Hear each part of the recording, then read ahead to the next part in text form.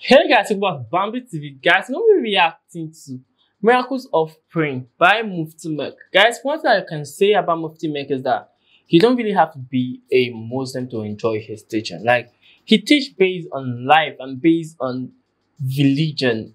But he focuses on Islam, but like, you can take the message. Like, the message is something you can take, you can impact into your life, and it will work for you.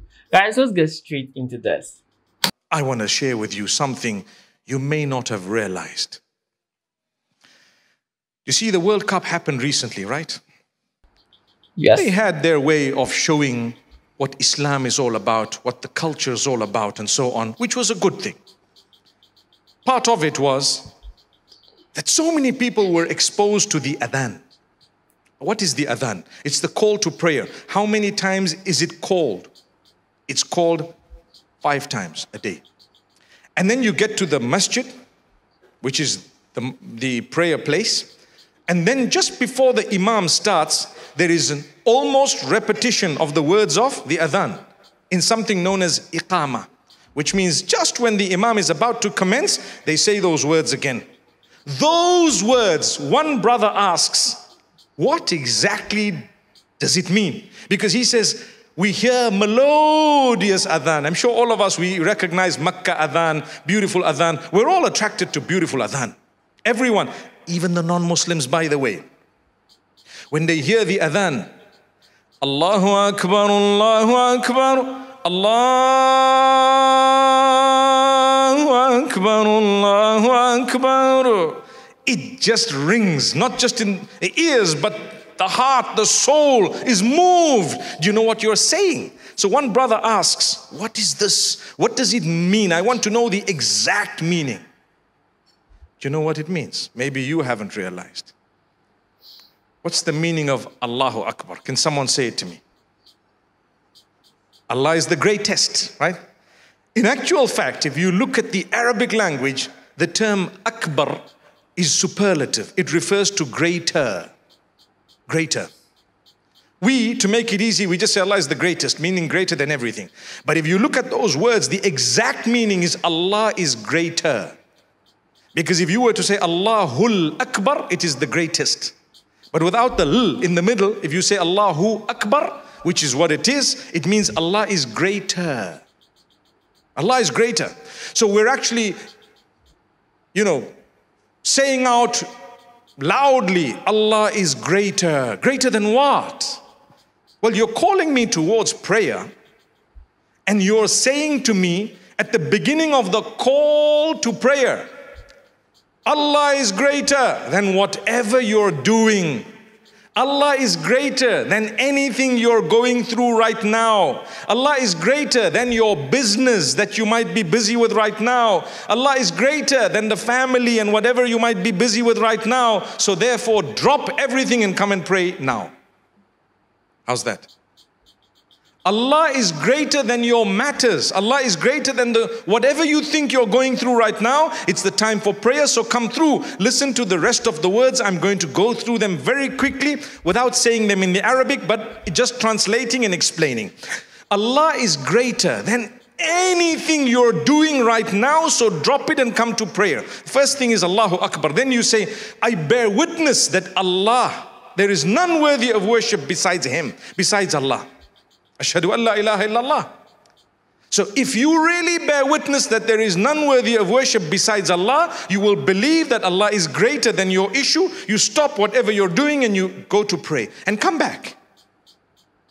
And if you believe there is none worthy of worship besides Allah, you believe that the Prophet Muhammad, peace be upon him, brought the message of Allah to you, then you will also immediately believe Allah is greater than whatever I'm doing right now. Drop it and go and pray. See?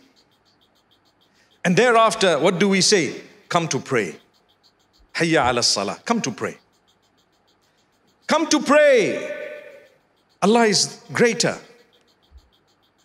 Come to success, the ultimate success. It might not be exactly as you think or I think. It might not be exactly what I want, but I know ultimately if I have this particular thing in my life, I will succeed. I ask you today, what is true success?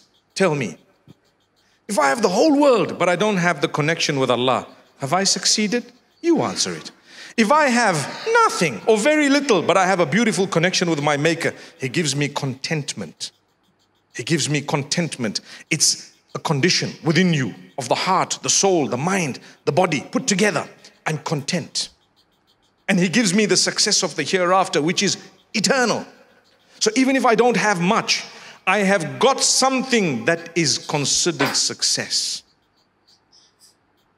And that's why immediately after saying the call to success, you know, come to prayer, come to success, we repeat again immediately after that Allah is greater. Allah is greater. Indeed, there is none worthy of worship besides Him. That's the call to prayer. If it has been made mandatory for us to call the call to prayer five times a day, do you really think there can be anything more powerful? Five times a day, you're being told Allah is greater. Don't forget that. I'm busy sleeping early morning for Fajr. I said this in Jum'ah today. I'm busy sleeping early morning for Fajr. It's not so easy because we've had a late night. And you know what? It's been difficult and whatever else. I tell you what, Allah is greater. Think of the meaning of it. Allahu Akbar. Greater than what? Greater than your sleep. Get up. Oh, I need to have a shower. And it's Allah is greater than what? The feeling that you have right now. Subhanallah.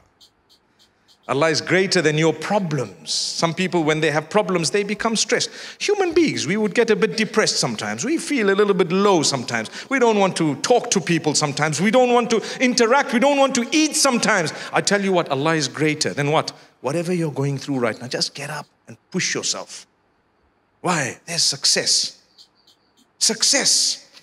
The Lord of the worlds is telling you, come to success. I want to succeed. I'm not, I, I will know if that Lord of the worlds has not allowed me to have something, I will consider it part of my success, even though I wanted it.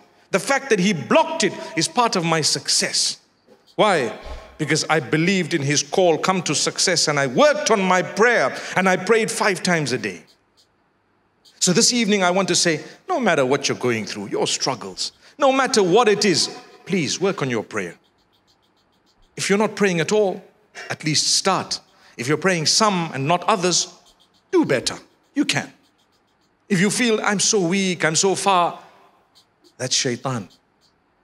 Allah will give you the strength. Allah is closer than you think He is. Don't give up. Don't give up no matter what. Yeah, this is amazing. Like him saying this really makes me understand that God's greater than my problems and he should be put first because based on what I believe in, I believe that God should come first before any other thing. Like God should be your number one and utmost priority. And you shouldn't be worried because you have God. Like you being worried is you like subconsciously telling yourself that you want to do it yourself. But you have a greater force which you have to it to. That's God. You're supposed to leave it for God because in different places, like it says, cast a care upon me for I care for you. Like God said, if God said, bring your problems to me in prayer and supplication and with thanksgiving, and I will answer them. And I, a lot of things were going through my head when he was saying that because I have issues and I believe and I pray that when after this I have to pray to God and surrender everything to Him because I believe He's going to make me pass through it. Like He's gonna take me to the next phase of my life. So guys, tell me what you think about this video. Tell me how it impacted in your life and tell me what you think about that. Guys, I'll see you next time, guys. Guys.